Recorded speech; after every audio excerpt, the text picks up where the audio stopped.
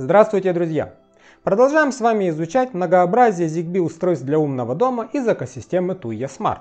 И героем сегодняшнего обзора будет четырехклавишный, логический, а значит полностью беспроводной, выключатель. Обычная первая ассоциация с такими устройствами это управление освещением.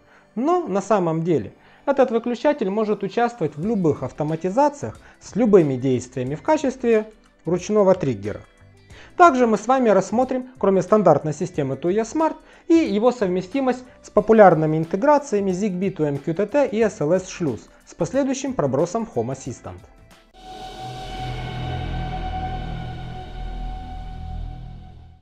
Модель TS044, интерфейс ZigBee, тип четырехклавишный, логический. Наработка на отказ клавиш 500 тысяч нажатий. Элемент питания CR2430 в комплекте не идет. Дней автономной работы заявлено 730. Диапазон рабочих температур от минус 10 до плюс 45 градусов Цельсия. Размер 86 на 86 на 13 мм.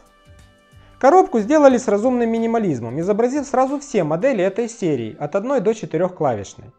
На ней вы не найдете и упоминания производителя устройства, но указана толщина, тип элемента питания и количество дней автономной работы.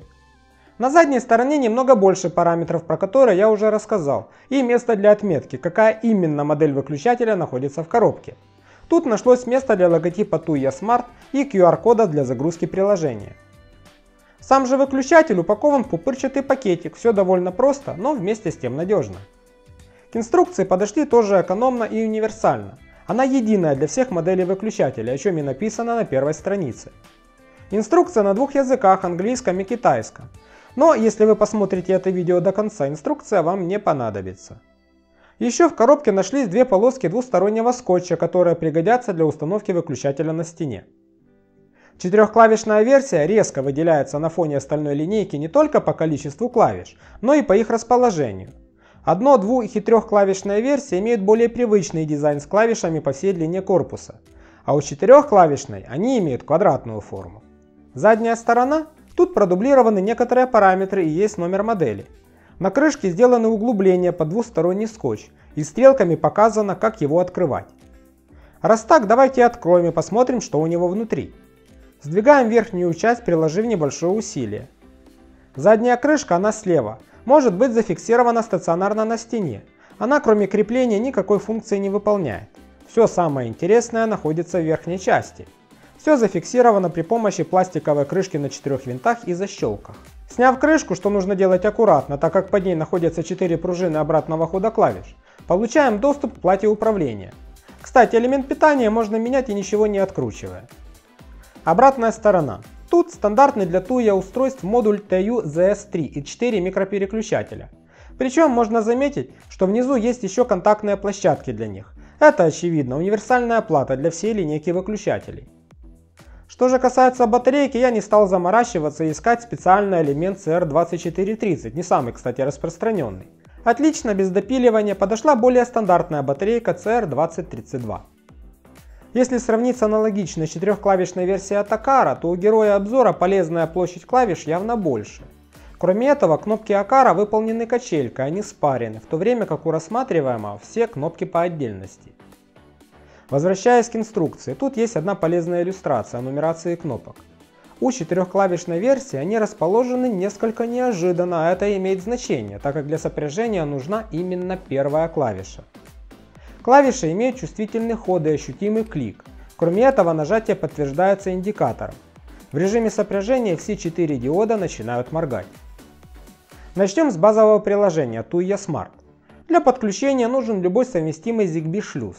Включаем режим добавления дочерних устройств, а на выключателе держим первую кнопку, пока все светодиоды не начнут мерцать. После этого устройство обнаружится шлюзом. Далее, после того, как мы выберем локацию и название, выключатель появляется и в общем списке, и в перечне устройств конкретно того шлюза, к которому он подключен. В плагине можно выбирать любую из кнопок, для установки действий на нее опция «Добавить программу». Это по сути своеобразный конструктор автоматизации. Выбираем триггер для автоматизации, в данном случае это один из трех вариантов воздействия на кнопку. А в задачу ставим то, что нужно выполнять при этом воздействии. Например, выключение одного из реле двойной розетки, про которую я недавно рассказывал. Созданная программа появится в меню выбранной клавиши.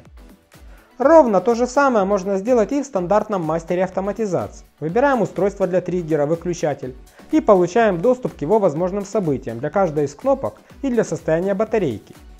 Для кнопок все те же три события, а для батарейки можно выставить действия, например, по уровню заряда менее чем заданный. Условий, как и действий задач, в такой автоматизации может быть много. Подробнее можно посмотреть в моем обзоре про умный дом Tuya Smart, ссылка в описании. Выключатель поддерживается интеграцией ZigBee to MQTT. Номер модели, как я уже говорил, TS0044.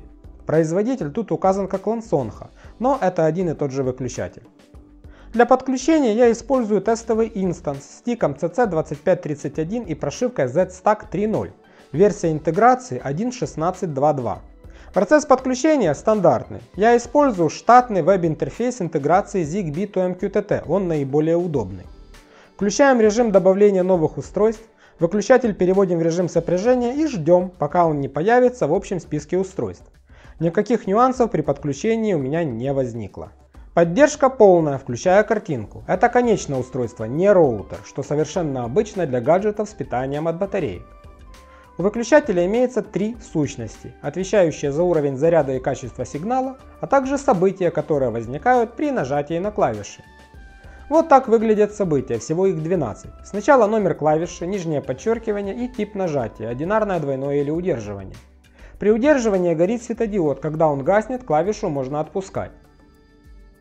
Эти же три сущности пробрасываются в Home Assistant. Для автоматизации используется сенсор Action, платформа State и набор из 12 вариантов событий. В SLS-шлюзе поддержка этого выключателя имеется в прошивках начиная с 15 декабря 2020 года. Процесс подключения тут тоже проходит без подводных камней. Запускаем Join на шлюзе и режим сопряжения на выключателе. Ждем пока пройдет интервью и устройство добавится в систему.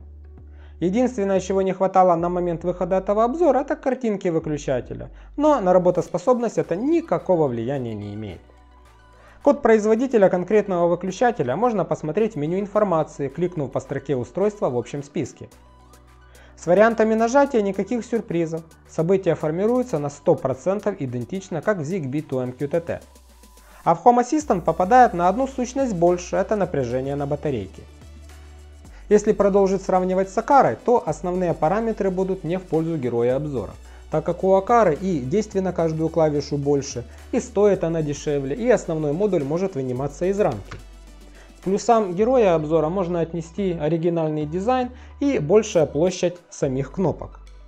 Однако, справедливости ради, я должен сказать, что на таких многоклавишных выключателях я обычно использую только одинарные клики, очень редко двойные. А такие события как лонг, релиз или даже тройной клик вообще никогда. Мне в принципе хватает штатных кнопок. Из рамки я тоже достаю очень-очень редко. Так что в принципе все основные плюсы Акары довольно условные. Но из песни слов не выкинешь, стоит она ощутимо дешевле. Так что выбирать вам. На этом все. Если у вас остались вопросы, задавайте их в комментариях под этим видео. Если видео вам понравилось, ставьте лайки. Если вы не хотите пропускать новые выпуски, подписывайтесь на мой канал. Также напоминаю, что все интересные новости, обновления, а также конкурсы и аукционы вы можете увидеть на моем телеграм-канале, ссылка в описании. До свидания, до новых встреч!